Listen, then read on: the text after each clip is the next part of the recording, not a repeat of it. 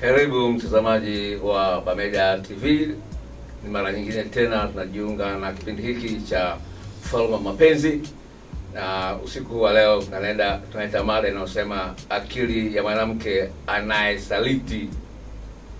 Akili ya mwanamke anayesaliti. Hii ni mada ambayo nimeahidi wiki iliyopita baada ya kuleta mada ile inasema kwamba sababu za wanaume kusaliti. Ningependa nikwambie ndugu mtazamaji, nashukuru sana uongozi wa Bameda TV kwa kutoa nafasi hii ya watu kujifunza mahusiano ya kimapenzi katika maeneo mbalimbali, na vile vile imenipa mimi changamoto ya kusoma zaidi juu ya mambo ya mahusiano ya kimapenzi na jinsi gani ya kuweza kuelewa kwa nini watu wanafanya mambo ambayo wanayafanya na jinsi gani ya kuweza kusaidiana kubadilisha mahusiano ya kimapenzi yakawa matamu zaidi. Kuwa niliahidi wiki iliyopita kuzungumza juu ya wanawake ambao wanasaliti, nimekuwa busy sana, lakini katika kujikuta kuandaa mada hii nimekutana na mambo ambayo ni mapya kidogo. Namshukuru Mungu aliyenipa hobi ya kusoma. Kwa sababu gani? Usipokuwa na uelewa wa kutosha, upo uwezekano mkubwa sana wa kufanya makosa mengi bila kujua kwamba unakosea. Sasa nachozungumza hivi ni kwamba akili ya mwanamke inavyofanya kazi ni tofauti sana na akili inavyofanya kazi ya mwanaume, na kwa bahati nzuri ni kwamba nimekuwa nasoma Biblia vizuri sana, ni mpenzi wa kusoma Biblia. Biblia inawaita wanawake viumbe vinyonge. Sasa nilikuwa sielewi hili mpaka nilipoanza kuandaa mada hii ya leo. Kwa nini Biblia inawaita wanawake viumbe vinyonge? Lakini leo katika maandalizi ya mada hii ya leo nimeelewa kwa nini Biblia imewaita hivyo na jinsi gani sisi wanaume tuna kazi kubwa ya kuwaonyesha wanawake mapenzi katika hali ambayo wanawake watosheke na penzi ambalo tunawapa. Naomba unisikize kwa makini sana, naongea taratibu kidogo, na nilikuwa na malaria na kidonda kwenye ulimi kwa hiyo naongea kwa shida kidogo, all in all, napenda kuambia wanaume wenzangu wanaonisikiliza na wanawake wanaonisikiliza usiku wa leo, naomba mtege masikio yenu ili tuweze kusaidiana katika eneo hili ambalo ni zito kidogo. Tafiti zinaonyesha kwamba asilimia tisini na mbili ya wanawake wanasema wanachukia u, usaliti lakini kati yao ni asilimia nane tu ambao kweli wanaweza kudumisha mahusiano bila kusaliti. Sasa hizi tafiti ni kubwa na zinatisha, na kutokana na kazi yangu ninayoifanya nakutana na maswali na, na, na maswali na ishu mbalimbali za wanawake ambao wanasaliti wengi na wanaofumaniwa vile vile nao ni wengi. Inatisha kidogo. Kwa sababu gani? Yani naona yani kesi ambazo nimeanza kuzipata mwaka huu za wanaume ambao wanasema nimemfumania mke wangu ni nyingi. Sasa namshukuru Mungu kwa sababu ame, ame, amenipa kazi hii na anajitahidi sana kuweza kuwafuatilia ni vitu gani hasa vinapelekea mtu afikie hatua kama hiyo. Sasa huyu Mungu ambaye anazungumza kwenye Biblia kwamba wanawake ni viumbe vinyonge, ameumba vitu ndani ya miili yetu ambavyo vina utofauti. Ubongo wa mwanamke unafanya kazi mara mbili zaidi ya ule wa mwanaume. Ubongo wa mwanamke unaitwa multitasking brain. Sasa akili ya mwanadamu ina sehemu mbili, kuna upande wa kushoto na upande wa kulia. Sasa uh, mwanaume uh, alivyo uh, kwa sehemu kubwa anaweza akafanya kazi, akili yake inaweza kufanya kazi kwa kutumia njia moja tu, upande mmoja kwa, kwa wakati mmoja wakati mwanamke akili zake zinaweza kufanya kazi kwa kutumia pande zote mbili kulia na kushoto sasa akili ya mwanaume ina yani ina focus kwenye jambo moja kwa mkupuo lakini akili ya mwanamke inaweza kufanya vitu viwili kwa mpigo. Inaitwa multitasking brain. Sasa akili ya mwanamke imeunganishwa kama vile umesha kupika tambi. Tambi unakuta zimeshikana shikana na nini na nini. Ndivyo akili ya mwanamke ilivyoumbwa. Yaani kuna mwingiliano sawa wa, wa, wa, wa hisia katika maeneo mbalimbali. Kwa hiyo mwanamke anapomuuliza mwanaume hivi, kwa nini umenisaliti, anataka jibu lililonyoka. Unapomwambia ah, bana, bahati mbaya, sio sio shetani na nini, haelewi kabisa. Sasa hivi baada ya kufanyia utafiti eh, somo hili la leo, nimegundua kitu kimoja. Katika akili ya mwanamke na ya mwanaume kuna kichocheo kimoja ambacho kina nguvu ya ajabu. Kichocheo hichi kinaitwa serotonini. sasa serotonini kinafanya kazi pamoja na kichocheo kingine kinaitwa dopamine sasa lazima uh, vichocheo hivi vya serotonin na dopamine viwepo na uwiano kama vile glasi. Huku ikiwa imejaa na huku uh, sorry, nusu na huku nusu ili uweze kujaza huku lazima upunguze huku. Kama hii glasi imejaa na hii, sorry, kama hii glasi iko nusu na iko nusu ili uijaze hii lazima hii upunguzie huku. Ili uweze kujaza hii lazima upunguzie hii huku. Sawa? So, katika mazingira kama hayo basi sasa hii serotonin. Mwanaume mwanaume ana serotonin nyingi kuliko mwanamke. Sasa hii serotonin inamaanisha kwamba ni kichocheo ambacho kinasababisha mtu atosheke. Nakumbuka kumwambia mke wangu mke wangu unanitosha. You are enough my wife. Alifurahi sana. Sawa? Alifurahi sana akacheka kaniangalia which is true. Nataka kuambia hivi ni kwamba mwanaume ana hiki kichocheo cha serotonin mara yani, yani kwa asilimia hamsini zaidi ya mwanamke. Kabisa atosheke yeye. Wakati mwanamke ana yani ana nusu ya kiwango hicho cha homoni au kichocheo cha serotonini tafsiri yake ni nini kutokana na hali kama hiyo? Tafsiri yake ni nini? Ni kwamba mwanaume anahitaji atumie nguvu maradufu ufundi maradufu hekima maradufu ufahamu maradufu kumthibitishia mwanamke kwamba nakupenda. Ili mwanaume aweze kumhakikishia na kumfanya mwanamke ajisikie anapendwa inapasa afanye kazi mara mbili zaidi ya mwanamke kumthibitishia mwanaume kwamba nakupenda. Unaweza kuona hiyo discrepancy utofauti uliopo. Napenda nirudia haya maneno kwa sababu yana nguvu sana. Hata mimi mwenyewe wakati nayasoma mpaka nimechelewa kurudi nyumbani. Kwa sababu gani? Kuna kitu ni kipya kabisa. Kwa sababu wazito wanafanya tafiti mbalimbali juu ya ubongo mwanamke na mwanaume wanafanya kazi kiasi gani. Kwa wakati nasoma hii naliangalia kuna eh, nika- nikasoma na maelezo yaliokuwa pale na michoro iliyokuwepo ya ubongo na nini na nini. Nikaona kwamba aha ndio maana tunapata shida kuwaelewa wanawake. Yaani kwa maeneo mengine kwamba mwanamke kutosheka kutosheka ni kazi ngumu kwa hiyo lazima mwanaume ajitahidi kumwelewa jinsi gani ya kumtosheleza mwanamke katika maeneo mbalimbali. Sio kwenye tendo la ndoa peke yake. Ukifikiria kwenye tendo la ndoa peke yake utapoteza utapoteza utapoteza dira. dira utakuwa yani utapoteza ramani yako itakuwa sio sahihi. Sasa asilimia kubwa sisi wanaume tunapenda tendo la ndoa. Sasa tunafikiria kwamba ukimridhisha mwanamke kwenye tendo la ndoa ndio basi umemaliza. Naomba nisikize ndugu msikilizaji. Wakati na nasoma haya nikaanza kumwelewa mke wangu. Sawa? Nikaanza kumwelewa mke wangu. Yaani mara nyingi mimi ndio naanza kumwambia mke wangu nakupenda.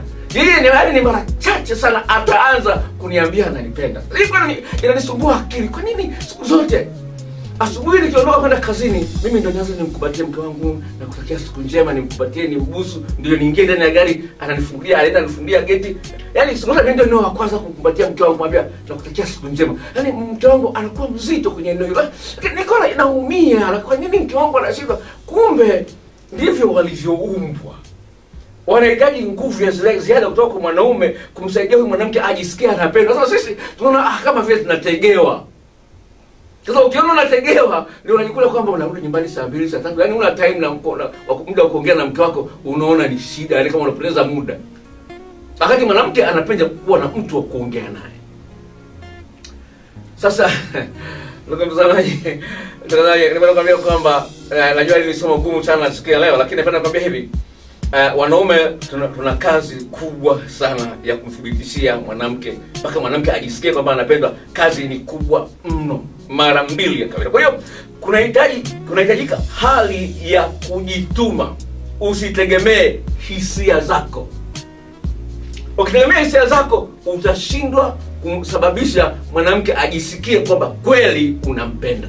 Kwa hivyo ana makosa ana madhaifu kama wanadamu yote. Upo uwezekano mkubwa sana wa kufocus kukazia macho makosa na mapungufu aliyonayo ambayo atakusababisha na wewe uanze kuchepuka na ah huyu tena ameshakuwa mzigo. Kwa hiyo bora umempa hela za, za, za chakula anavaa vizuri anaendesha gari anaendesha nyumba nzuri wataenda shule unaona umemaliza kila kitu. Kumbe bado kabisa. Ndugu mtazamaji katika tulio nao sasa hivi tuko katika ulimwengu ambao ni mgumu kidogo katika masuala mahusiano ya kimapenzi. Ni mgumu katika ma- ma- masuala ya kimapenzi katika eh, kwa sababu zifuatazo. Kutokana na kuwepo kwa television kutokana na kuwepo kwa mitandao ya jamii twitter facebook whatever it is unakuta kwamba kiasi ambacho mwanamke uh, mara nyingi anakuwa anaangalia television series zile anafuatilia tu siilishia wapi anafuatilia siri zile kwenye facebook kwenye youtube yuko kwenye whatsapp sijui kuna snapchat sijui nani. Anakuwa busy na mitandao sana. Sasa wanawake hawajui kinachoendelea wanapokuwa busy na, na mambo kama hayo. Hawajui kinachoendelea. Naomba nisikilize. Ukimwona mke wako mchumba wako whatever mpenzi wako wa kike anakuwa bize sana na tv sio kwamba vibaya kuangalia tv sasa unaangalia tv unajifunza kitu. Kuna faida zake za kuangalia tv unapomwona mke wako mara nyingi uko busy kuangalia kuangalia tv au kwenye eh, facebook au youtube au mitandao snapchat au whatever it is. Tambua kwamba mke wako ameingia kwenye eneo la hatari. Na- na- naomba unisikilize kwa makini sana. Tambua kwamba mke wako au mchumba wako wa kike yuko katika eneo la hatari kutokana na tafiti za kisayansi. Sasa na wanaume ambao wanaangalia picha za ngono sawa picha za ngono wenyewe wanajua katika maeneo ya hatari bila wenyewe kujua sawa napenda kuambia kama wewe una tabia kuangalia picha za ngono unajiweka katika maeneo ya hatari bila kujua nitakuja kuzungumzia siku nyingine mungu akijalia lakini all in nili ni mwanamke ambaye yuko busy sana na vitu kama hivyo vya mitandao ya jamii na nini na nini ubongo wake unalemewa kiasi ambacho unapata shida sana kumwelewa mume wake naona wake unalemewa na mzigo wa twitter sijui facebook sijui youtube sijui nini sijui series imeishia wapi na nini. Ubongo wake unalemewa. Sasa asipata mwanaume ambaye atapata nafasi ya kukaa na kuongea naye mara kwa mara na kumchekesha na hapa na pale na pale na pale mwanamke huyo anaonekana mwanaume huyo anaonekana anaboa unaona sasa jinsi gani una- unaingizwa kwenye kazi ambayo ni ngumu ya kusababisha mwanamke ajisikie sio mpweke tena pasipo kuangalia tv bila pasipo kuangalia facebook au twitter whatever it is kwa hiyo unaona kwamba kwamba kwa sababu mwanamke yeye hajui anaona ni burudani anaangalia tv anaangalia anaangalia uh, facebook sijui twitter sijui snapchat sijui uh, uh, whatsapp na wanarushiana picha na nini. Kuna kuna, magroup ya ya Facebook ya whatsapp yuko busy. Yeye anajiona is okay. Ni, ni eh, wa- wazungu wanaita pastime unapoteza muda. It's okay. Lakini tafiti zinaonyesha kwamba zinasababisha ubongo huyu mwanamke unaanza kuelemewa unashindwa kuwa na mapenzi mazuri. Sasa tafiti hizo hizo nimeshazungumzia hapa kitu kimoja ambayo kuna kitu na kitu kinaitwa uh, interpersonal synchronization. Sasa interpersonal synchronization ni kwamba ili mwanaume na mwanamke waweze kudumisha mahusiano yao ni muhimu sana wawe na muda wa kukaa na kuangaliana uso kwa uso. Mnakaa mnaongea na mke wako na au unaongea na mume wako uso kwa uso bila kuangalia tv au kuangalia kingine chochote kile au kuwepo na watoto au interruption au wageni kwa hiyo tafiti zinaonyesha kwamba ili ndoa ziweze kudumu vizuri lazima kila siku ya mungu at least kwa kiwango cha chini iwepo nusu saa ya mwanamke na mwanaume kukaa na kuongea. Bila kuangalia tv au kuangalia sijui nini sijui kuna ipo nusu saa ya hawa watu wamekosa on one another. Yani wana wanasikilizana wanaambiana kama wanachekeshana. Yani kiwango cha chini ni nusu saa kila siku. Kwa nini kwa nini hilo hilo ni la muhimu? Kwa nini hilo ni la muhimu? Naangalia muda kidogo na- na- na- na- naona majibu ya swali yatakuwa mengi sana. Kwa nini hilo ni la muhimu? Ni la muhimu kwa sababu gani? Ili uweze kuweka picha ya mume wako kwenye akili yako na wewe uweke picha ya ya mke wako kwenye akili yako lazima huu muda wa kuonana uso kwa uso unachangia una, una katika kumshiba mkeo au mkeo eh, au mumeo. Ile ile sura na mwonekano wa mke wako lazima ukae kwenye akili yako ili usivutwe na mchepuko sasa on top of that katika muda wa kukaa pamoja na mke wako unamsaidia mke wako akuone ni thamani na aogope kuchepuka? Na, na, na, na, na, sawa. Labda kuna kitu ambacho kinasaidia sana mtu kuwa mwaminifu. Kwenye saikolojia wanaita positive illusion. Unapozungumzia positive illusion maana yake ni kwamba lazima katika akili yako uwe na kitu ambacho unakiona ni cha faida kwa wewe kuwa na mke huyu ni cha faida cha wewe kuwa na, na, na mume huyu. Kwa hiyo lazima at least uwe una vitu ambavyo unavibeba kwenye akili zako ambavyo vinaonyesha kwamba kuendelea kumpenda mke wangu ni faida kwangu mimi. Unapata nafasi na, ni nafasi ya wewe kuji- kuji- kuji- kujivunia. Kwa hiyo haya ni mambo ambayo yanapaswa yafanyiwe kazi haswa na mwanaume sasa uki- ukishindwa kuyafanyia kazi yafuatayo yatachangia mwanamke kusaliti kwa sababu akili yake inatafsiri mambo tofauti pale ambapo mwanaume anapokuwa hana muda wa kuongea na mke wake mke wake anajisikia hapendi kuna muda wa kukaa na kuongea na mke wako hujamletea zawadi muda mrefu sana ujamtoa uh, outing. Ni vitu vidogo vidogo sawa. Hujawahi kumsifia umevaa vizuri au umepika chakula kizuri hujawahi vitu vidogo kwa kadri hali hiyo inapojirudia sasa mwanaume mwanamke hata kuambia kama vibaya chakula changu nimevaa vizuri lakini sitaisikia vibaya. Hujaniambia kwamba nimevaa vizuri nimependeza. Hata kuambia lakini kwenye akili yake inaweka records. Hali, kama hiyo inayoendelea tayari mwanamke mwanamke anajiona kwamba hapendwi sasa anapojiona kwamba vile hapendwi sasa kuna wanaume wanamtongoza. Anaona kwamba bwana mbona wenzangu wengine wana wanaume wengine wanipenda huyu anipendi sasa kadri anavyoendelea anavyoendelea kutongozwa sasa kuna factors nyingine sasa ambazo zinapelekea mwanamke akusaliti. Naomba unisikize kwa makini sana sasa kwa wale ambao wanafahamu kiingereza kuna kitu kinaitwa multifactorial factor mul- mu- mu- multifactorial issue. Yaani kuna vitu mbalimbali ambavyo vinachangia mpaka mtu anabadilisha mtazamo wake. Nitakupa mfano mifano miwili. Mpaka mwanamke anasaliti mwanamke mmoja nishautoa hapa kama sikusema. Mwanamke mmoja alikuja usini kwangu. Miaka kama nane iliyopita eh, ofisi yangu zilikuwa kwenye uwanja wa Nyamagana kwa sababu anaifahamu uwanja wa Nyamagana jijini Mwanza. Mwanamke amekuja usini kwangu ananiambia daktari nimekuja na tatizo tatizo gani? Akasema shida nimekuwa na chepuka na msaliti mume wangu kwa muda wa miaka miwili sasa. Lakini sasa hivi nahisi mume wangu ameanza kushtuka. Ameanza kuwa na wasiwasi. Sasa shida nilionayo dokta mpaka nimekuja kwako ni kwamba nataka nimwache huyu mwanaume nashindwa. Nasema leo ndo nacheza naye ngoma ya kubwa mara ya mwisho.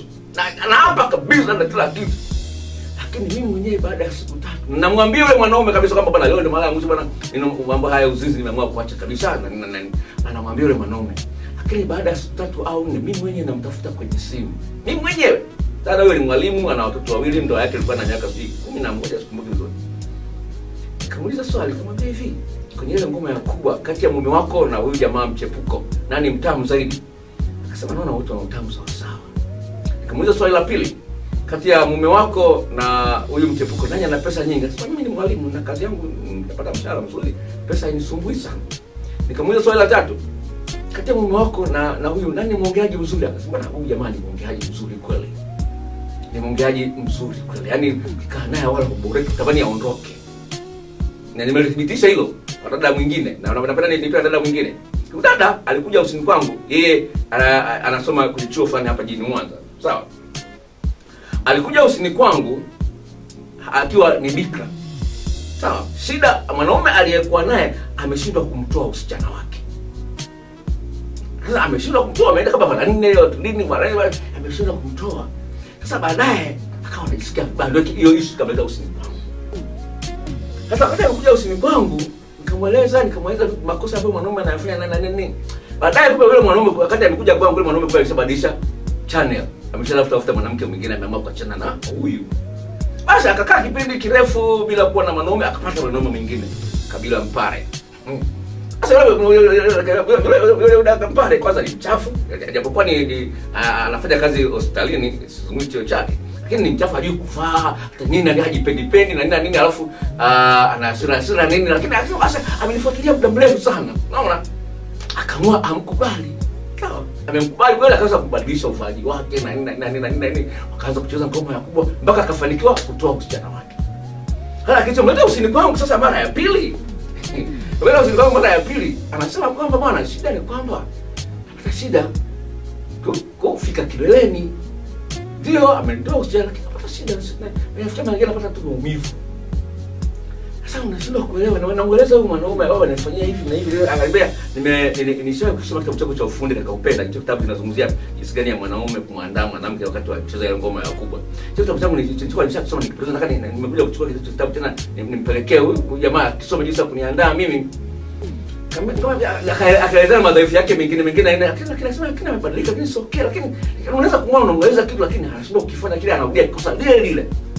Nikamwambia kwa nini usimrudie yule jamaa nikamuuliza hivi. Sasa katika maandalizi yale ya tendo la ndoa huyu na yule mwingine ambaye ashindwa kutoa usichana wako nani kidogo alikuwa na ufundi akasema yule namba moja ambaye alishindwa kulitoa usichana kwenye masuala ya maandalizi alikuwa anaweza kweli. Alikuwa anajisikia raha lakini alikuwa ameshinda kumaliza ile ngoma yenyewe. Aya sasa ngoma sasa usirudi yule? Akasema "Wewe, ni mwongeaji sana kuliko yule yule. Point hiyo hiyo ni binti ya miaka 24 25 hivi.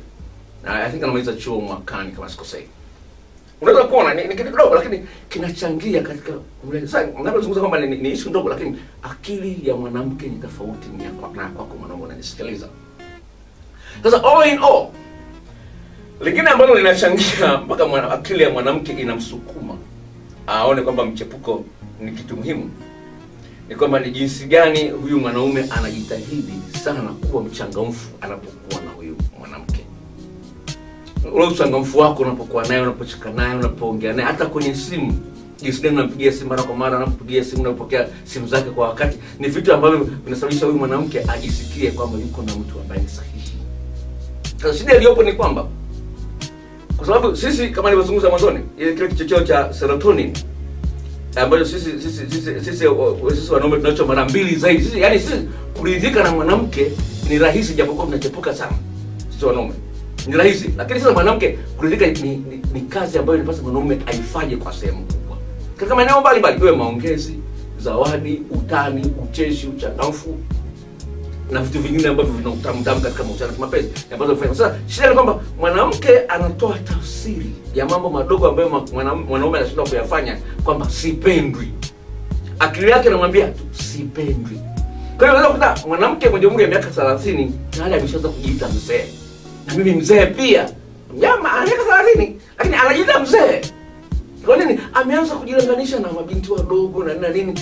Labda mmangu na kwa sababu mimi nimeshazeeka ndio maana ana- ana- anithamini hapendi kukaa na mimi hapendi kunitoa outing aonekane na mimi. Labda mimi nimezeeka. Kitu si kweli. Sasa shida ni gani? Ni kwamba katika maeneo mbalimbali kama nilivyozungumza eh, hapo hapo hapo hapo mwanzo ni kwamba kuna kitu kinaitwa positive illusion. Ili uweze kumpenda mwanamke na mwanamke ajisikie kwamba kweli anapendwa lazima at least wewe unamsifia unampa feedback ya kwa nini unaendelea kumpenda kwa nini unaendelea kumthamini. Na hii inakusukuma wewe mwanaume uendelee kufanya bidii ya kuonyesha mapenzi mapenzi huyu mwanamke uliye sasa ling, eh, asilimia kubwa ya wanaume tunaamini kwamba wanawake wengi wanaosaliti wanafuata fedha. Kitu ambacho sayansi ya ubongo wa mwanamke inasema si kweli. Kwamba asilimia kubwa wanawake wanaosaliti wanafuata fedha. Naomba unisikilize najua hili itakuwa gumu. Tafiti zinaonyesha kwamba wanawake wenye fedha yani ambao tayari baba wanafanya kazi na kazi nzuri wanalipa mshahara mzuri ndio wepesi sana kusaliti kuliko wale ambao hawana pesa. Kwa nini?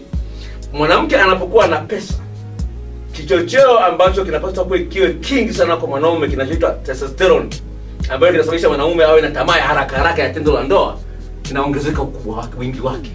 Na mwanamke anapokuwa na uwezo wa kifedha. Kichocheo kile cha testosterone ambacho kinachangia mwanaume awe na hamu ya tendo la ndoa mara kwa mara kwa mwanamke kinaongezeka anapokuwa na uwezo wa kifedha. Hiyo ni habari mpya kabisa. Sasa usi- usifikirie kwamba wanawake hawana nao hamna sasa shida ni kwamba mwanamke kama mwanamke.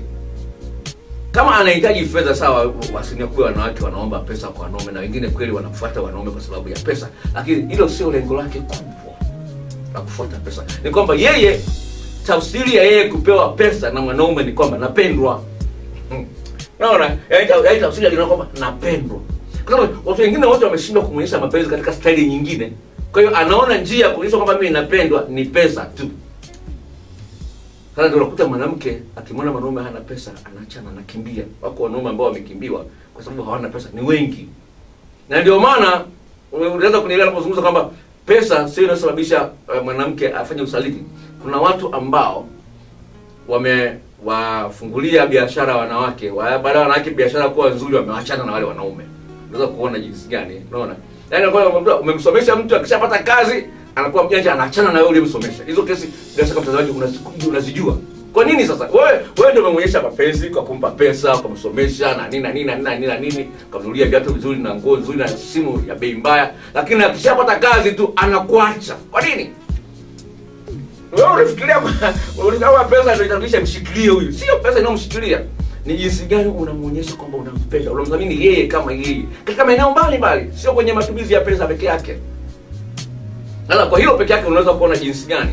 Si kweli kwamba wanawake wanapenda pesa. Wanawake wanapenda kupendwa. Lakini za kumpenda mwanamke ni kazi unahitaji kufanya nguvu mara mbili zaidi ya mwanamke ambaye anafanya kuonyesha anapenda. Kwa hiyo ili mwanaume atosheke ni rahisi.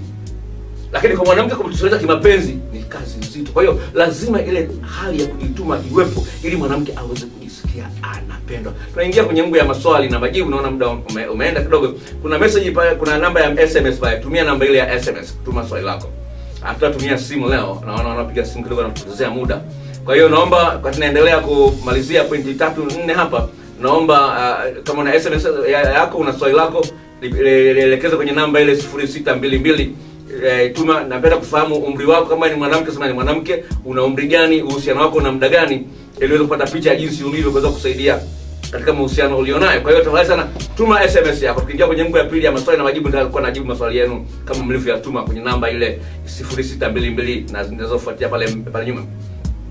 Eneo lingine ambalo linapelekea akili ya mwanamke imtume kwamba kuona kwamba kusaliti ni ni faida kwake ni pale ambapo tendo la ndoa linafanyika katika kiwango cha chini mwanamke anahitaji maandalizi yasiyopungua dakika kumi na nne kabla ya mwanaume hajapanda jukwani. Sasa katika tafiti ambazo zimefanyika kwamba wanawake they are very eh, wanaita sensual. Sensual yani yani zile jinsi gani unatibua hisia zake za utamu za raha zinasababisha atengeneze mshikamano wa kihisia na wewe sana. Sasa katika eneo la tendo la ndoa ni kwamba pale ambapo mwanamke kwa mara nyingi anakuta kwamba haridhiki na performance utendaji kazi wa mwanaume huyu mwanamke anaanza kufikiria chepuka. Hali hiyo inapojirudia rudia na kuna wanaume wengine wanamtongoza inakuwa ni rahisi sana sana. Na hili nime naliona nimeanza kuliona kwa kiasi kikubwa sana. Binti wa miaka ishirini na mbili ananitumia message anaambia dokta na mwanaume nimeolewa lakini sisikii raha kwenye tendo la ndoa nimechepuka nimeenda kwa mwanaume mwingine na penyewe sijasikia ni vile vile. Hivi mimi nina kasoro gani? Hizo kesi nimekutana nazo nyingi. Mwingine ananiambia hivi dokta mimi niko ndani ya ndoa miaka ishirini na tano. Sijasikia raha ya tendo la ndoa katika ndoa yangu. Nilidhania kwa sababu mume wangu alipokuwa amenioa mi nilikuwa bikra. Nilifikia labda kwa sababu ya ile ya maumivu ya bikra na nini hali hiyo itakuwa hivyo lakini sasa hivi mbona nimejifungua? Lakini bado sisikii raha yote. Hmm? tayari hivi na mtoto na miezi tisa. Sisikii raha yote tuna ndoa. Inakuwaje mimi? Ni tatizo gani? Ah, swali kama hilo lazima, kwa nini sijisikii raha? Linamsukuma mwanamke aone kuja nijaribishe nje itakuwaje? Hivi wanaume wote wako sawa na mume wangu? Mbona mbona marafiki zangu wanasimulia utamu wa tendo la ndoa sasa hiyo vile vile inamsukuma mwanamume mwanamke aanze kufikiria kutafuta mwanaume mwingine. Kama hawezi akatosheka kuona kwamba mimi bwana nimekuwa kimeo. Hawezi kukubaliana na kitu kama hicho. Wataanza kufikiria kwamba no ngoja nijaribishe mwanaume mwingine. Na hiyo sasa akijaribisha akutana na utamu huko ndio unakuwa mchepuko sugu. Mtu anakomalia huko. Nakutana nimeshaanza kukutana na kesi nyingi za wanawake ambao wamechepuka na wako tayari kuvunja ndoa. So huyu kijana ananitumia si message, dokta, huyu mwanamke yuko tayari kuvunja ndoa kwa ajili yangu. Anasema kwamba kama kama nisipomuoa sawa, kama nisipomuoa yuko tayari kunywa sumu. Ya hivi karibuni ambayo nime- nimeipata uh, anasema huyu kaka ananiambiaje, anasema huyu anasema huyu ni mke wa mtu nilimchepusha, lakini sasa hivi anataka achane na mke wake na mume wake anasema twende mbali na mama mama yuko ndani ya ndoa miaka mitatu yuko ndani ya ndoa miaka mitatu. Sasa anasema huyu mwanaume anasema anitoa ani, ani, ani, kwenye ndoa yangu tuhamie tukaishi mbali. Lakini nachotia wasiwasi kwamba huyu mwanaume tayari ana wanawake wawili mimi ni watatu. Kama kama atanihamisha niende mbali aweza aweza- aweza akani- akaniacha kama anavyoniacha hao wengine wawili. Hapo ndio linishtua kama huyu angekuwa hana wanawake wawili tayari anataka kuacha kwa ajili yake huyu asingeshtuka angeweza kuwa niko ndani ya ndoa ana watoto watatu. Unaona nguvu ya tendo la ndoa katika akili ya mwanamke ni kubwa kuliko unavyofikiria mwanaume mwenzangu. Nakutana na kesi nyingi za wanaume ambao mwanamke anamwambia sijalizika ana- anaanza kumshtumu "Wewe umekuwa malaya si nini na nini imekuwaje na nini na nini usinisumbue tafuta mwanaume mwingine atakayekulizisha hizo kesi nakutana nyingi. Kwa lazima tumie akili zetu kama wanaume kuweza kuangalia jinsi gani unaweza kumsaidia mwanamke afurahie tendo la ndoa inamsaidia yeye vile akuheshimu wewe kama mwanaume katika maeneo mbalimbali mheshimiwa fundi mitambo tupatie break nipate maji ya kunywa kidogo alafu tuingie kwenye maswali ambayo watazamaji wameweza kuyatumia Kutana na Dr. Nelson, daktari bingwa wa mapenzi. inatakiwa umtoe mwanamke kutoka kwenye pointi sifuri Ni hivi karibuni hapa hapa Barmedas TV kila siku ya Ijumaa saa nne kamili usiku. Usikose. karibu mtazamaji kwenye ngwe hii ya pili ya kipindi hiki cha Ufalme wa mapenzi. Tafadhali sana usipige simu kwenye hii namba ya maswali ambayo umeyatuma. Ah, kuna pointi moja nimeikumbuka kama mfano kutoka maisha yangu mimi mwenyewe nitaweza kuwasimulia ndani ya maswali ambayo yatakuja hapa. Nianze na swali hili la kwanza.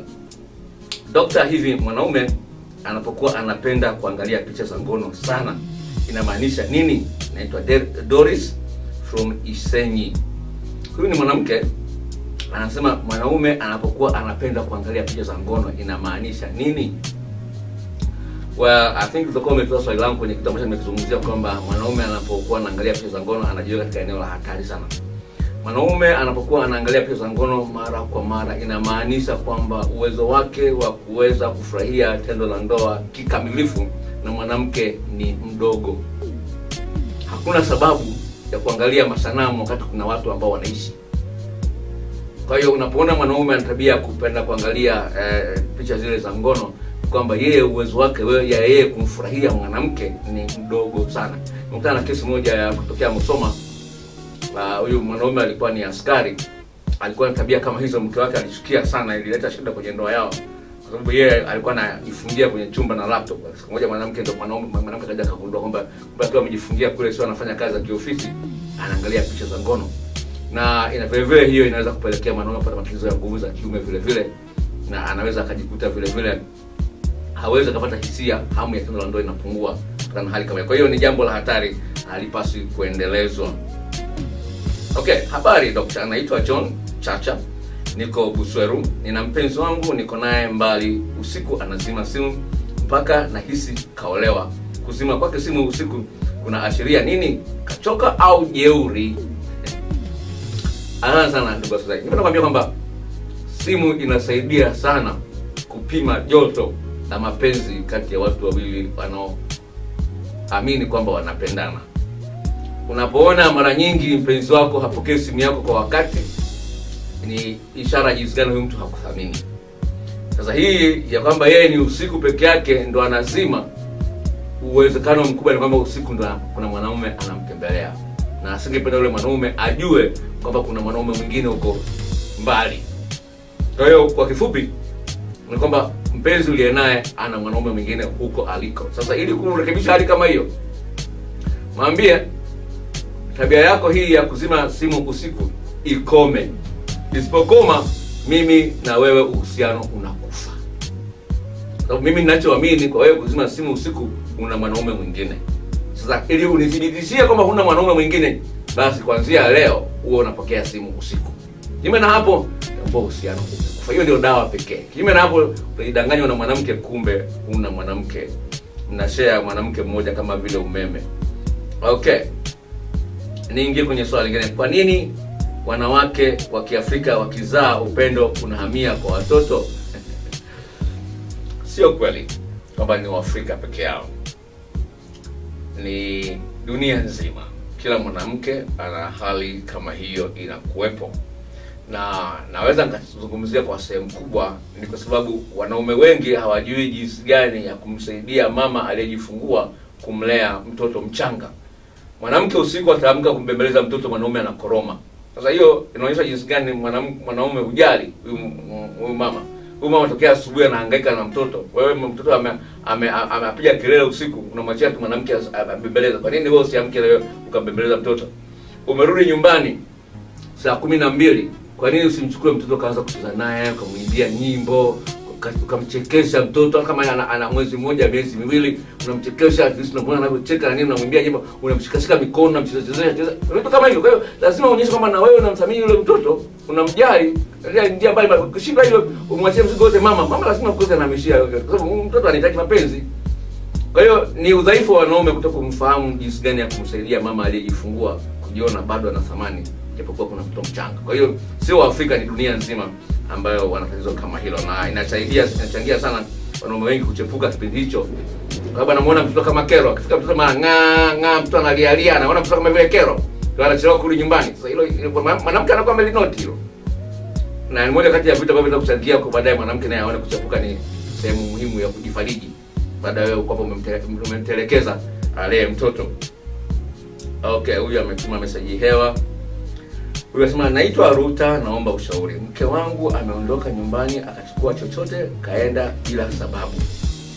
Kanikimbia sijui alipo na hata kwao hajaenda. Namba yangu kafunga. Je akirudi nimsamehe au niachane naye? Well hii luta kesi yako ni sawa sana mtu ambaye amemfumania mke wake. Hiyo yako wewe kufanya maamuzi. Mimi kufanyia maamuzi. Nategemea na hisia ulizonazo juu ya huyu mwanamke kutokana na historia ya uhusiano wenu kama unaona kwamba ni wa muhimu sana ni wa thamani sana japokuwa amekosea kwa kwenda kulala na mwanaume mwingine huko mwezi mzima au miezi miwili hiyo ni njia yako kufanya siwezi kusaidia kufanya maamuzi inategemea na wewe hisia zako zinazo juu ya huyu mtu. Kwa hiyo kuna watu ambao wamemfumania mke wake akamsamehe wakaendelea kuishi. Kuna mwingine amemfumania ndio ikawa mwisho. Nimekutana na kesi moja uh, jana darasa la jana. Jamaa ananitumia message ananiambia dokta huwezi kuamini jirani yangu mke wake amejifungua watoto mapacha. Ah, mtoto mmoja yani kwa kiasi kubwa kweli anafanana na mimi. Sasa watu wote wanasema mimi nime- nimetembea na yule mwanamke. Sijawahi hata kumtongoza yule mwanamke sijawahi kumtongoza. Lakini watu ja- watu- jamii wote wanasema bwana mimi nimefanya makosa nimetembea na mke huyo jamaa. Na jamaa kamfukuza mke wake. Kwa sababu hiyo tu. Leo kuona kuna watu ambao yani hawezi akavumilia usaliti wa aina yote. Sasa hii hawajathibitisha kupima kwenye DNA, bora bora tu wamefanana tu na wanasema kwamba ah ni huyu jamaa. Kama si kweli, kuna watu ambao wanafanana. Japokuwa wa- wa- wa- wame- wametoka maeneo tofauti tofauti kabisa. Kuna watu nakutana nao barabarani, sema huyu alikuwa ni- ningeambiwa kama ni mtoto wa fulani ningeamini kabisa. Lakini kumbe si watu watu watu hawafahamiani kabisa. Kwa hiyo hali kama hizo zipo, eh, inategemea na wewe mwenyewe unajisikiaje juu ya hilo issue Wewe ulifanyia kazi Mr. Ruta kama unavyoliona wewe. Okay, kuna message hapa imeingia. Nasema naitwa Musa Malibi kutoka Mwanza Buzuruga. Nina umri wa miaka ishirini. Kuna mwanamke nilimtongoza, namda naye, tumezoeana mpaka akaniomba hela. Nikafikiri nikimwomba ngoma ya wakubwa atanipa. Nilipomwomba akasema eti anaumwa, huyo atakuwa na lengo na mimi kweli au anataka hela tu? Well, la kwanza ili mwanamke akupe ngoma ya kubwa lazima aangalie jinsi gani wewe unamthamini huyu mtu. Akija akapata ujauzito kamtupa. Sasa hujaelezea uhusiano wako na muda gani na huyu mwanamke, lakini all in all uh, usitegemee kwamba mtu kukupa ngoma ya kubwa ni biashara ya kubadilishana. Kwa hiyo jinsi gani wewe unaweza kuwa na ushawishi kumshawishi mtu mpaka akuvulie nguo, hiyo ni kazi nyingine ambayo of course inapaswa ifanyie kazi. Eh, na hapo hapo umetumia umeongezea umeongezea message moja nyingine ambayo inasema kwamba nikimpigia simu usiku uh, a- nikimpigia simu usiku hataki kupokea. Kwa nini? Hiyo jibu ni kundilia kwa nimempa mtu mwingine kwamba huenda ana mtu mwingine. Okay. Uh, naitwa Michael niko Ghana. Um, message yake imeishia kipande. Anasema mwanamke lakini okay, niingie kwenye message. Dr. hivi ukicheza ngoma ya kubwa na msichana ambaye ni bikra anaweza kupata mimba? Mimi naitwa Stuart kutoka maduka tisa. Well, uwezekano wa mwanamke kupata mimba akiwa bikra upo. Siku ile ile una una utoa msichana wake na siku ile akapata mimba, uwezekano huo upo, lakini sio lazima iwe hivyo. Kuna wanawake ambao wanafikiria kwamba siku ile ya kutolewa ya kutolewa usichana, siku hiyo unaweza kupata ujauzito. Si kweli. Sababu inategemea na ule mzunguko wa mwanamke. Siku ile wakati unacheza ngoma ya kubwa, ilikuwa kuna eh, kitu gani ambacho kina kina- kina- eh, kimetokea. Kama tayari ilikuwa siku ya hatari, atapata ujauzito. Swali linasema dokta, mimi naitwa eh, Josephat, niko maeneo ya Sengerema. Hivi dokta, mimi kama mwanaume natakiwa na nitumie dakika ngapi katika kucheza ngoma kubwa na mwana- na mwanamke ili mwanamke aridhike? Okay, wa swala si ni muda gani, swala ni ufundi ulionao wa kumsaidia mwanamke afike kileleni. Kuna wanawake ambao anaweza kufika kileleni hata kabla mwanaume hajaingia ndani. Kwa hiyo inategemea na ufundi wako kufahamu maeneo maalum ambayo katika mwili wa mwanamke yana miisho mingi ya mishipa ya fahamu ili mwanamke aweze kufurahia tendo la ndoa. Nitakupa mfano wa kweli ambao ulikuja usini kwangu. Kaka mmoja alikuja usini kwangu akaniambia, dokta, nimekuja na swali la ajabu kidogo. Akasema kwamba wakati wa uchumba na mke niliye naye sasa hivi tumefunga ndoa, ilikuwa inachukua muda mrefu sana kwa mke wangu kufika kileleni, lakini sasa hivi tuko ndani ya ndoa, ndani ya muda mfupi tu amefika kileleni. Nikamwambia hivi, kipindi kile cha uchumba alikuwa anakuvumilia akishikilia utafaulu kufikisha kileleni, akagundua kwamba hata akikupa muda wa kutosha bado unashindwa, kwa sababu ufahamu maeneo sahihi na vitu gani vya kufanya katika maeneo ambayo yana miisho mingi yameshipa fahamu katika mwili wa huyo mwanamke. Sasa hivi mko ndani ya ndoa ambapo uwezekano wa kufanya tendo la ndoa mara kwa mara ni mkubwa, anaona imekuwa kero. Kwa hiyo anaona kuvumilia ni inamsumbua. Kwa hiyo ameamua kufu- kufupisha ule muda yeye kukuvumilia wewe. Anakudanganya kwamba amefika kileleni, kumbe hajafika. Nikampa kitabu changu kinaitwa Ufundi katika Kupenda ambacho kina maelekezo ya maeneo 14 katika mwili wa mwanamke ambayo yana miisho ya mishipa mingi ya fahamu.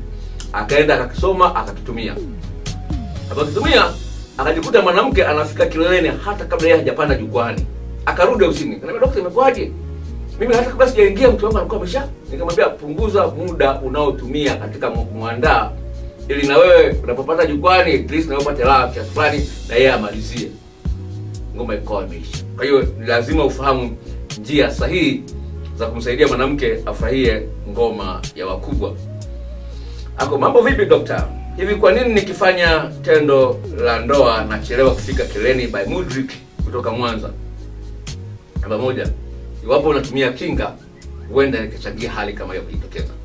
La pili, iwapo ulicheza mchezo wa kujichua uh, japokuwa kwa sio kwa spidi kubwa, frequency kubwa, inaweza kupelekea hali kama hiyo kuji- kuji- kujitokeza. La tatu, iwapo una kiumbe chembamba kwa hiyo ni vigumu kupata msuguano wa kutosha ili umalize, inaweza kupelekea hali kama hiyo kujitokeza. Okay. Uh, dokta, mimi naitwa Madagara. Kwa nini nikitaka kucheza ngoma ya kubwa kiumbe changu kinalala? well, hii ni kesi ambayo nakutana nayo mara kwa mara kidogo, kwa sababu asilimia zaidi ya 95 ya wateja wangu ni wanaume. Uh, kuna mambo mengi ambayo yanasababisha mwanaume kuweza kuwa na kiumbe legelege, kiumbe ambacho kinachoka haraka. Maana yake mzunguko wa damu ambao unaelekea kule, spidi yake ni ndogo. Sasa unapokuwa tayari mwanamke ameshavua nguo zake na wewe umevua nguo, unapotaka kwenda pale, ndani ya muda mfupi tu unajikuta tu jamaa ameanza kusinzia. Hii ni kwa sababu eh, eh, msukumo wa damu unakuja kwa spidi ndogo sana. Hiyo namba moja. Namba mbili, iwapo una hofu, hali hiyo ishawahi kutokea huko nyuma, sawa? Una hofu sasa kwamba leo sijui nitashindwa, leo sijui nitaweza. Unapokuwa na hofu ya aina yoyote ile, nguvu zako zote zinakimbilia miguuni. Sababu tulivyoumbwa na Mungu ni kwamba inapotokea jambo lote la kutisha, ndio ni dogo au ni kubwa, lazima damu yote ikimbilie kwenye miguu na nguvu zote kimbilie kwenye miguu ili uweze kukimbia kuokoa maisha yako. Kwa hiyo ni hali ya kukiwa na wanaita performance anxiety, na unakuwa na wasiwasi wa utendaji, inasababisha hali kama hiyo. Kwa hiyo ili kuweza kuondokana na hali kama hiyo, jitahidi sana eh, kama hujapitia wa kujichua kwa muda mrefu au hukuwa na tabia ukaa na mkojo kwa muda mrefu, kipindi hicho utakuta kucheza ngoma ya kuwa, jitahidi sana uwe unapumua kwa kutumia mdomo kama vile mabata wanavyofanya. Ushaona mabata? Basi fanya kama hivyo hivyo, itakusaidia kidogo ku, eh, kuimarisha stamina yako. Okay. Dokta, mimi ni mwanamke nampenda sana. Dokta, mimi nina mwanamke nampenda sana, lakini kila nimwambiapo na kupenda anasema ngoja nifikirie kwanza. Hivi dokta, huyo mwanamke ananipenda kweli? Anapokuambia nifikirie kwanza, maana nataka niangalie kama unao uwezo wa kunithibitishia kwamba unanipenda.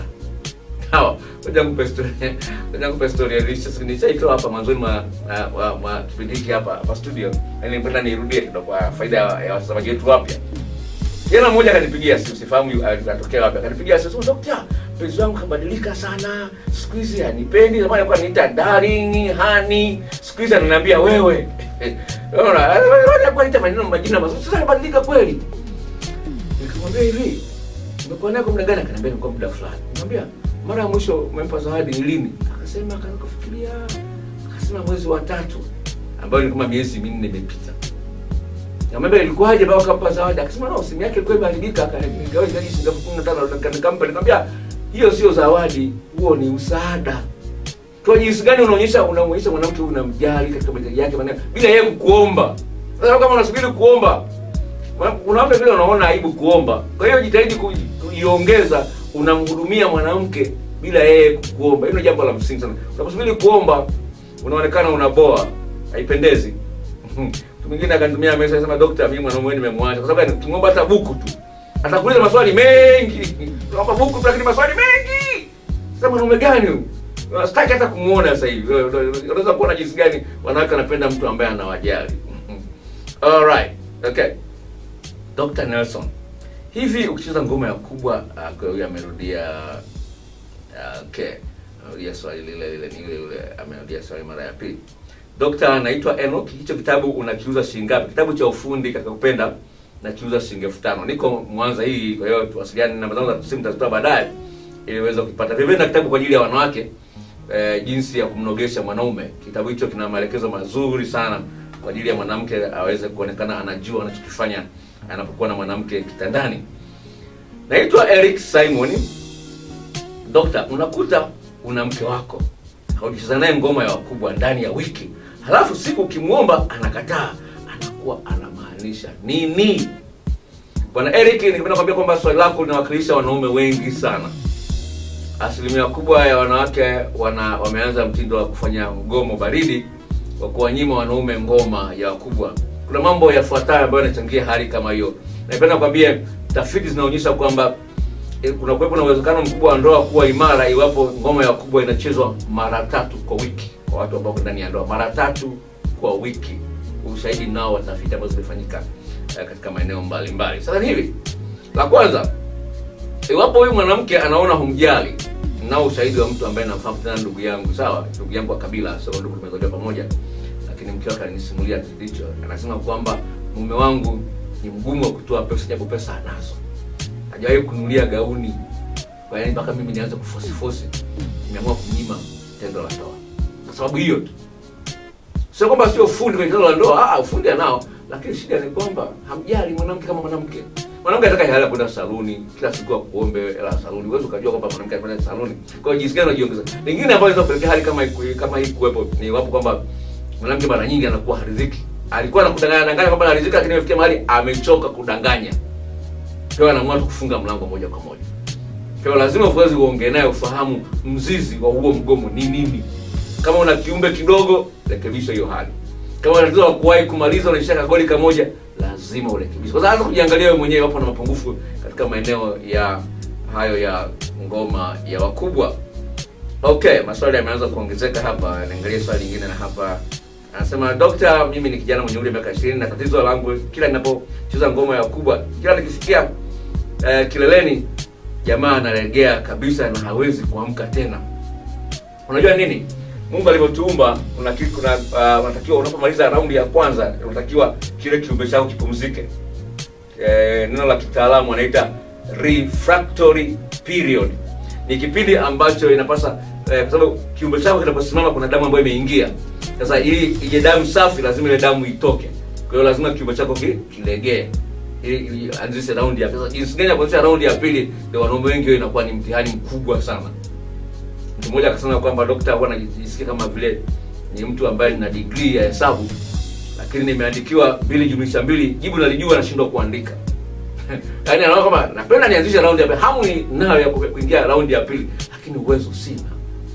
Sasa hii ni kitu ambacho of kina tiba yake tuwasiliane gharama yake ni shilingi elfu ishirini na tano tunaweza kusaidia kuliondoa hilo tatizo manake likiendelea uh, kwa umri ulionao utajikuta mahali fulani utalichukia tendo la ndoa au utaweza kuogopa wanawake niingia kwenye eh, ah, sema hivi anasema dokta mbona wanaume wengi ha- hawalizi? Ah, ili silielewi si- anamaanisha nini? Naona maswali yetu yame wengine ametuma message tu hapa. Mambo yani maswali yalikuwa machache lakini ningependa kuzungumzia uh, vitu kuna kitu kimoja ambacho nikizungumzia basi kinaendana na mada. Kwa kama umefungulia tv hivi karibuni mada tulionayo ndio iko pale kwenye screen. Kuna eneo ambalo nilikuwa silifahamu ambayo kutokana na mada kwa nimeizungumzia nilipenda nilizungumzia hivi kuna nime- kuna wanawake walikuwa wananiambia mume wangu hajui kubembeleza sijui mchumba wangu hajui kubembeleza. Sasa unaweza kuona kwa nini mwanamke anasema kama mume wangu hajui kubembeleza? Ni jambo dogo. Lakini ukitaka kumwelewa mwanamke kwa hivyo basi mume wangu hajui kubembeleza. Kubembeleza ni vipi? Kubembeleza ni hivi yaani, nilikuwa naongea na dada mmoja eh, anafanya kazi CRDB hapa Mwanza akisema mpenzi yule naye anasema anajua kunibembeleza kweli lakini mapenzi ya kitandani hajui. Unaona? Ele ele oilo anasema ana mapenzi ya kihindi nalo na mapenzi ya kihindi hajui ile kipenzi na nini Ah, ah, ah, hajui. All in all kumbembeleza mwanamke ni jinsi gani unamtreat kama vile yani kama kama vile mtu wa thamani sana. Unahangaika unamhangaikia katika maeneo mbali mbali utamwita majina matamu utampenda utapenda kwa karibu na yeye. Vizawadi vya hapa na pale. Jinsi gani una- unaweza hata kumwimbia wimbo. Nakumbuka wiki hii wiki hii nilikuwa naendesha gari. Naendesha gari sasa nimefika nimepaki gari mkiona kuja kupokea mizigo ambayo nimekuja nayo kwenye gari. Nikaanza kumwimbia. Kama ni gari kwako nimefunga breki na pendela kwako hali elezeki kwako si eti wala si feki siko true na warembo feki alicheka kweli yaani yani ni vitu vidogo dogo. Lakini vinasaidia kuleta ulaini katika nafsi mtu anajisikia raha kwamba na mtu ambaye kweli amenishiba kwa hiyo kuna mambo ma- ma- madogo madogo tu eh, unamfanyia mtu anajisikia kwamba kweli mtu kweli ananijali ananikumbuka ananithamini ni vitu vidogo lakini vinachangia mwanamke ajisikie raha sana kwamba ni mtu ambaye ananithamini ndugu mtazamaji itakuwa ni sio kuna swali la mwisho na- naona muda wetu vile vile umeisha me check ya kama kuna swali lolote amjibu ama hajaingia swali. Oh, in mimi niko Mwanza, niko jengo la Nyanza, barabara ya Kenyatta. Jengo la Nyanza liko nyuma ya benki kuu. Kama upafahamu hapo, unafika maeneo ya benki kuu pale panaita Kemondo, ukafika New Mwanza hoteli au jengo la CCM mkoa, ukanipigia simu. Namba zangu za simu eh, fundi mitambo anatuwekea pale chini hivi karibuni. Okay, namba yangu za simu ndio hiyo 0754 03 99 tisa nne sifuri saba tano nne sifuri tatu tisa tisa tisa nne ofisi yangu inakuwa wazi kuanzia saa mbili na nusu hadi saa kumi na nusu jioni. Watu wengi wanafikiria kwamba kutakuwa na foleni si kweli watu wengi wanaona aibu kuja. Hakuna foleni nakumbuka baba mmoja alikuja usiku, alikuja akatupigia akasema niambia dokta mimi usiku wako siji. Njoo tunaongelea ndani ya gari yangu. Sawa, nikaenda ndani ya gari yake kwa matatizo yake nikaongea naye nikamchukulia dawa ofisini nikamletea. Akaondoka. Lakini sio kwamba kuna foleni yaani ukuta foleni sana sana ni ya mtu mmoja ambaye amekutangulia. Sio zaidi. Yaani ni mara chache sana unakuta watu wawili zaidi ya watu wawili wako ofisini kwangu wanasubiri huduma. Ni mara chache sana sana. Labda kwa mwezi naweza kutokea mara moja au isitokee kabisa. Kwa hiyo usiogope kwamba kuna foleni. Karibu sana uh, kwa ajili ya ushauri pale. Na vile vile nakualika kutembelea uh, channel yangu ya youtube ambayo inabebwa na jina la paul mwaipopo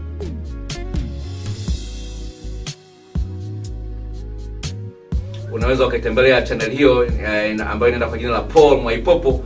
Utapata mafundisho ya aina mbali mbali ambayo of course yatachangia katika kuboresha mahusiano yako ya kila siku na mada mbalimbali ambazo zina video zaidi ya ya mia. Kwa hiyo kuna mambo mbalimbali ambayo nimezungumzia. Kwa mfano utamu wa mchepuko mwanaume wa kweli ukoje mwanamke wa kweli ukoje uh, na mambo mengi matamu matamu. Kwa hiyo tembelea channel hiyo uh, ambayo yanakwenda kwa jina la paul mwaipopo utaweza kujifunza mambo mengi sana sana ambayo ataweza kujenga uhusiano wako. Nikutakie usiku mwema ndugu mtazamaji.